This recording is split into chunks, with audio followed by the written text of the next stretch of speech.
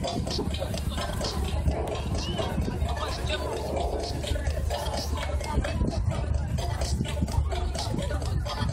and gentlemen, uh, final leg in the arena.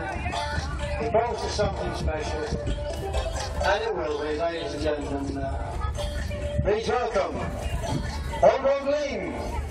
Well, good afternoon, ladies and gentlemen, boys and girls. Thanks so, so, much for you to turn out here second and final performance of the Bottle of Wings freestyle team here at Cromer Carnival 2014. What a wonderful day we've had here. We've had beautiful sunshine, clear blue skies. We have got a little bit of coming right now, so we are due to get things underway here. So as I said, we are indeed the Bottle of Wings freestyle team. Incredibly proud to be here at this Cromer Carnival for 2014. We're doing a quick couple of laps around the arena. One, say hello to you guys, how you doing? Two, to try and get some warmth into these motorcycles. And three, to check that the arena is fit for purpose. So you doing guys, good to see you. So mate, how you doing? Good to see you. Thanks for turning out. The Warner brothers are here in force today. How you doing guys? Good to see you. Thanks for turning out here today. Hope you've had a great day. Hope you've had half as good a day as we've had here. We've had fun, and let me tell you, we've got a show in store for you guys this afternoon. We had some fun on the bikes in the first show. Did a little bit of fun bringing those up. We got those upside down. The serious stuff done and see if we get some of these big bikes upside down. Incidentally, you need to make plenty of noise for your rider. In green out here today on the Kawasaki, Mr. Jamie Squibb. He is the master of the backflip, and we brought him along here all the way from Exeter in Devon. He's here today. I know he wants to get that green machine upside down. So without further ado, I'll just ask you to briefly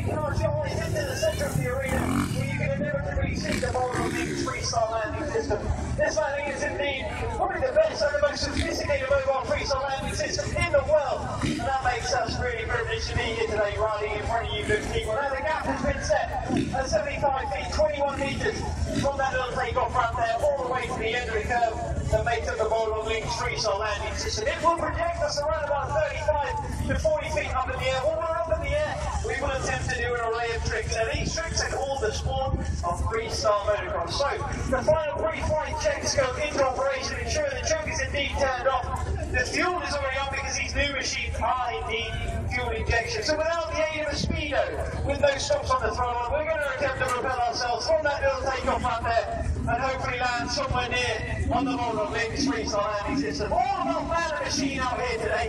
As I say, there are no stops on the throttle, there are no speedos. It's all about our judgment. And let me tell you, I'm good out here today. Here we go then, into the roll bit, into that run up. Little bit. The. Just use that 27 degree to bring in nice and smooth. Just to get in. All riders out here today.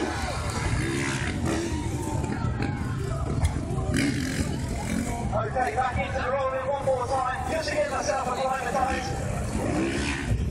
in, up, and over. Just using that 27 degree land and bringing us in nice and smoothly. There's Aaron, he's coming over. Field out here, clear, look at Samson go, throwing that bike sideways. Ruben, he's nicely warmed up already in second jump.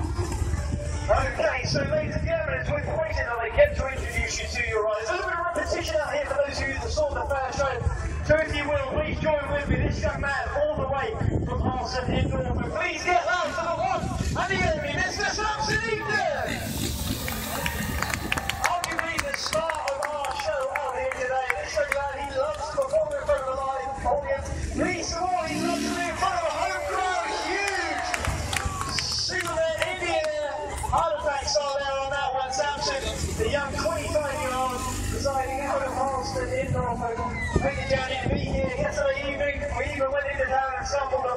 and chips. Good to be back home. Let's see what Samson's got as he goes into the roll and snaps the throttle right about now. Big whip down Indy. So, ladies and gentlemen, as he comes back over, please join with me and make some noise for Samson Eaton. So as we go from the UK's, arguably the UK's number one, certainly one of the finest riders in the country, over to the UK's youngest professional freestyle motocross rider, 23 years of age.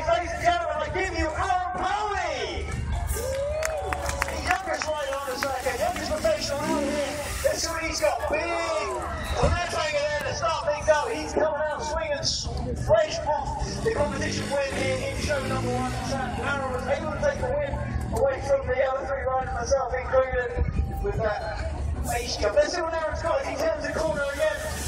Presiding Alan Europe, Sam